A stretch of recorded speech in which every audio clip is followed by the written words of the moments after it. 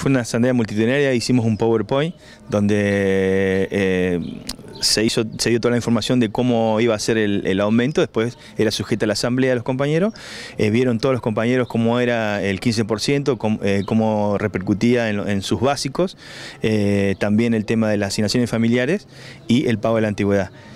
Fue bastante importante porque no entrábamos en el salón y había gente por todos lados, después terminamos en la calle votándolo. La propuesta era en 5 horas 5 en diciembre y 5 en enero.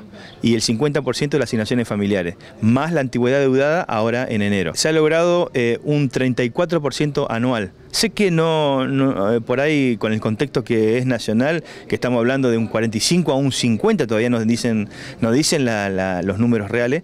Eh, Acá de la seccional venimos peleando con un convenio colectivo porque explotan todos los ítems, un 34% anual, creo que somos la municipalidad que más hemos tenido aumento. Después si alcanza es otra la situación, porque no le alcanza ni a los provinciales, ni a los nacionales, provinciales, ni a los municipales. El jueves 2030 eh, vamos a estar con todos los sindicatos y firmando el acuerdo paritario.